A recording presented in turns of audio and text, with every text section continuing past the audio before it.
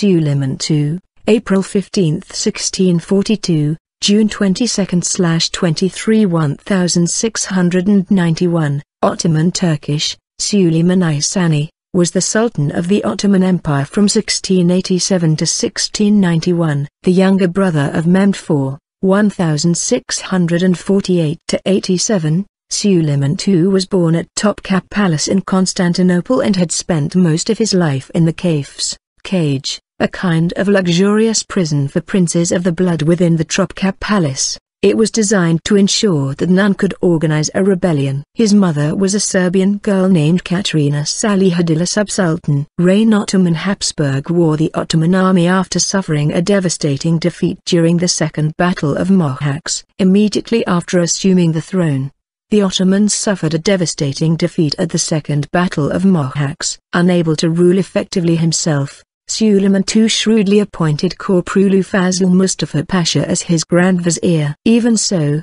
when Russia joined an alliance of European powers, the Ottomans suffered the devastating Crimean campaigns. Under Köprülü's leadership the Ottomans halted an Austrian advance into Serbia and crushed an uprising in Macedonia and Bulgaria until Köprülü Fazıl Mustafa Pasha was killed in the Battle of Slankamen by Austrian forces. Suleiman II died at Edirne Palace in 1691. He married Khadija, but died without issue. Relations with the Mughal Empire in 1688 the desperate Ottoman Sultan Suleiman II urgently requested for assistance against the rapidly advancing Austrians. During the Ottoman-Habsburg War however the Mughal Emperor Aurangzeb and his forces were too heavily engaged in the Deccan Wars against the Marathas to commit any formal assistance to their desperate Ottoman allies.